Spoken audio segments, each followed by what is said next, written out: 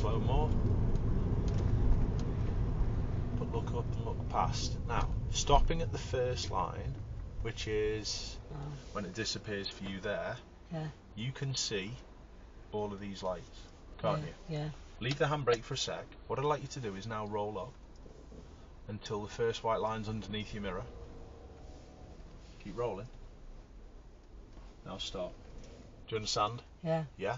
You could park here if wanted, Yeah. but sometimes parking this far forward, yeah, you, you can obviously go, would block your view of the first set of lights. Yeah. So you're better off at traffic lights Better view there, further back. Further back. Yeah. Yes. Yeah. Um, but if you had to move up, say for example, a car was very close behind you and the lights changed really late, that was excellent. Well done, Yvonne. If the lights changed really late and the car was really close behind you, you'd want to really use that extra space to stop Yeah, because you slammed the it risk. on. Yes, Yeah. to stop the risk of it going into the back of you. Yeah. Yeah. Okay.